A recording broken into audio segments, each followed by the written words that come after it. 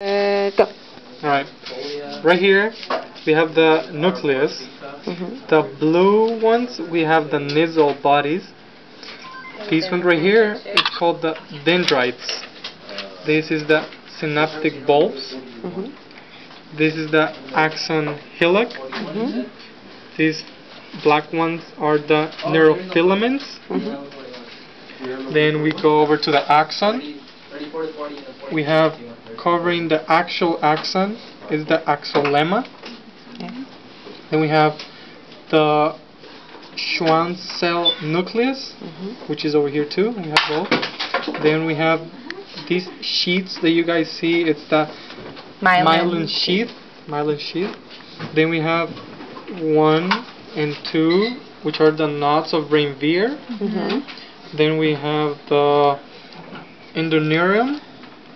Endoneurium. And already said the Schwann cell nucleus. And the final wrapping is the Axolemma.